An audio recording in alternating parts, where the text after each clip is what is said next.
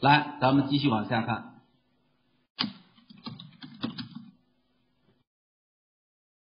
再往下看就是增删改表结构。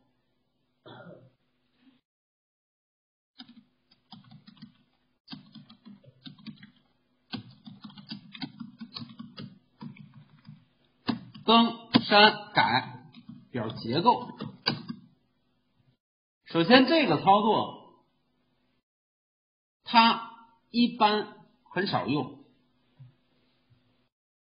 只有当我们对这个表的结构不满意了，我们可能才会使用增删改表结构的操作。你比如说，现在这张表里边有两个字段，但是我们发现，在后期开发的时候，这两个字段不够，我们可以加一个字段，或者说这个字段我们根本就用不着，可以删掉。这个字段的长度啊，它给定十个长度，我想改一改，这都是可以做的啊。比如我在这再创建一张表啊，来 drop table t 下划线 student，我再把这张表删掉。如果说这张表是存在的话，if exist，如果存在删掉这张表，create table 啊，这张表 t 下划线 student 这张表，然后接下来我们可以在这加上去 number，加上去 name，然后把叉来这个是叉吧，int 类型也行啊，给上十个长度。接下来把叉咱们给上去三十二长度。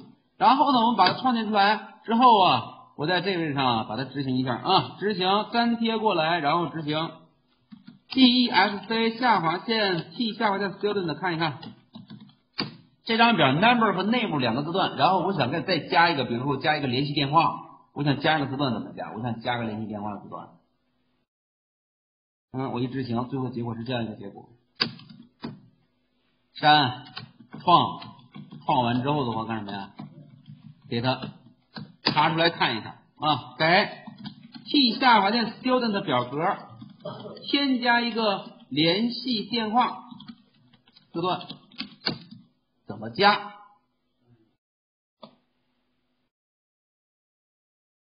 把表删了再重新建一个，太聪明了啊！可以，完全可以，这种方式也行。Alter table T student，Alter table。修改表后边跟上表名，add 添加添加什么字段？你比如说，我们来加一下啊，alter table alter 啊 table t student，然后呢啊 add add 一个 telephone。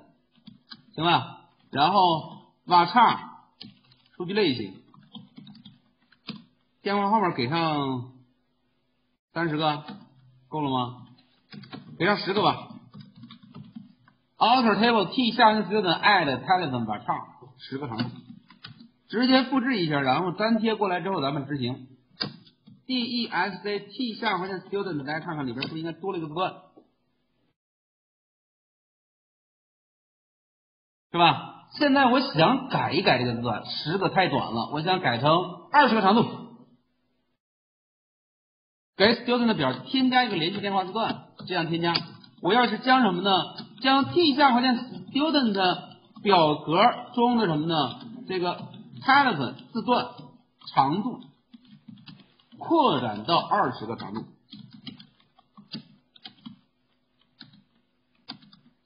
这属于什么？增改是吧？改一下怎么改？把啊，update，添加字段修改，modify，啊，modify 后边跟上什么字段的名称啊？来改一下，跟上面一样的啊，alter table t。Student modify 修改 telephone 拉叉等上二十个长度，来再来改 dst student 二十个长度，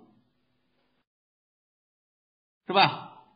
那么接下来继续，我们将啊 t 下划线 student 表格中的 telephone 字段删除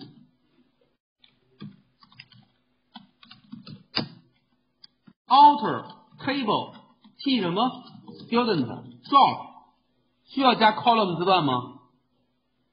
我们直接写上 telephone 行吧？试一下，来拿过来，行不行？d s c t 什么 student 看一看，是不是没了？嗯，这个改成 drop。登山改表的结构就说这么多啊，这我就不再多说了，因为这个不是特别的重要啊，不是特别重要。就像刚才这位同学所说的，实在不行把表干掉再重新建。但一般情况，我们在初期设计的时候都是很谨慎的。你后期的话再去改表的结构，那是很麻烦了。